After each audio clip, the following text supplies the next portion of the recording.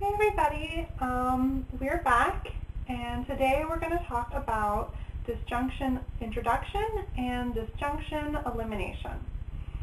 So before we get into the actual rule, let's talk a little bit about what the disjunction really means. So if you remember, our disjunction is the wedge. And what does the wedge tell us? Well, it means or.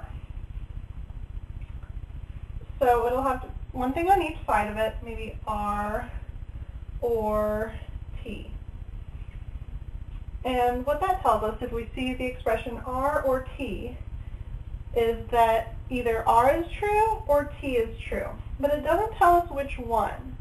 So there's kind of a mystery associated with the OR symbol with disjunction. We know that one of them is true. At least one of them is true. But we don't know which one it is. R is true or T is true. R or T. Things you could say are, um, in my lunch there is an apple or there is an orange every day. So some days maybe it's an apple, some days maybe it's an orange. But the whole statement is true because it has that possibility for it either to be apples or oranges. So that one would be in my lunch today, there is an apple, a, or an orange. So let's take a look at the first of these rules, which is disjunction introduction. All right, here is our disjunction introduction rule. And what it tells us is that, say we have P on a line by itself. What we can do is, if we know P is true, then any disjunction statement with P in it is also going to be true. So if P by itself is true, we can say the statement P or Q. And that whole statement would be true because at least one piece of it, the P, is true. So that's what disjunction introduction rule lets us do. If we have just one expression by itself, we can put an OR symbol after it, a disjunction, and then anything else we want. So maybe we wanted the P to turn into P or S. All we have to do is put the OR next to it, put in the S that we want, because the whole statement is true given that P is already true. And then we put the line where we got the original piece of it, the P, we got that on line 1, and we put an OR symbol and an I for introduction.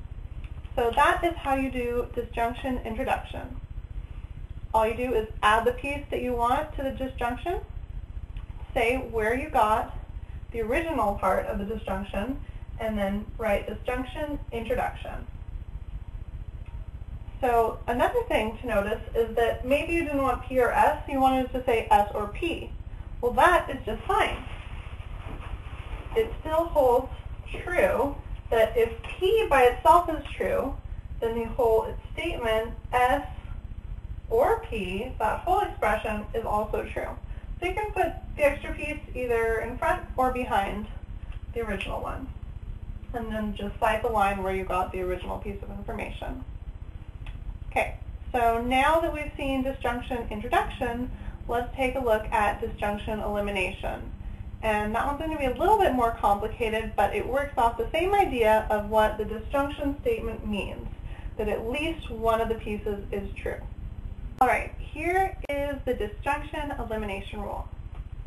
And what that tells us is that, say on a line we have a disjunction, in this case P or Q. And we want to get a piece of information out of it.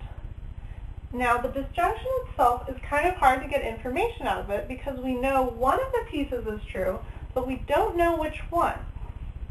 So what we can do is we can experiment with each piece to see if we can get information out of it. And we do that by making our own assumptions. So maybe that was an assumption at the beginning. And then, so we make ourselves a separate scope line, and we experiment with the first piece. And say the first piece allows us to arrive at the information R. There would be other steps in there, but the general idea is that we try the first piece and it leads us to the information R. and then we try the second piece of it. And if we can get the same piece of information derived from the second part of the disjunction as we can from the first, then we can conclude that that piece of information, R, is true. And the idea is that we, we're not sure which one of those is true. So we take a look at each one. We say, well, what if P were true? What if the first piece were the one that was true? And P gets us to R. And we say, okay, well, if P is true, then R is true.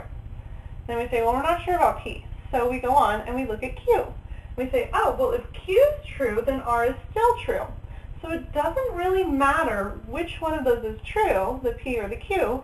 They both lead us to the same destination. So it doesn't matter which one of them works. All right, so that was the disjunction introduction rule and the disjunction elimination rule. The first one lets you add a piece by using a disjunction. And the second one helps you get around the disjunction, kind of around it, to get to a piece of information.